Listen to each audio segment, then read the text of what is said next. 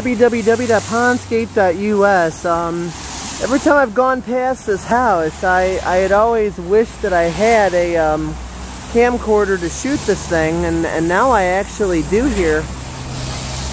if anybody's ever seen that show, uh, Life After People on the History Channel, no, aside from someone actually really cutting the bushes, this is like a really good uh, Chicago example here because I mean, they've just let this property go crazy. Uh, in a way, it's pretty cool. Um, the whole yard is practically nothing but bushes and trees. It, it only gets kind of stupid when, um, you know, they don't cut it in there because it's all, like, mostly weeds and crap growing in there. They don't plant too many flowers.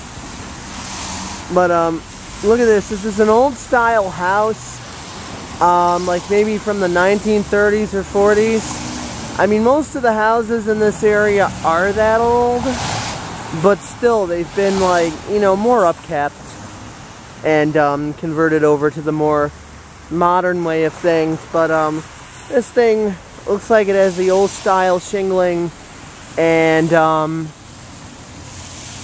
you know, the, the wood frame doesn't look like any bricks been implemented like on, on most of the houses here. So, I mean, this thing has been kept in an antique state.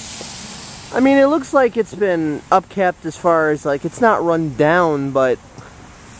I mean, they've they've kept it intact as far as what it used to be then. It's still the same now.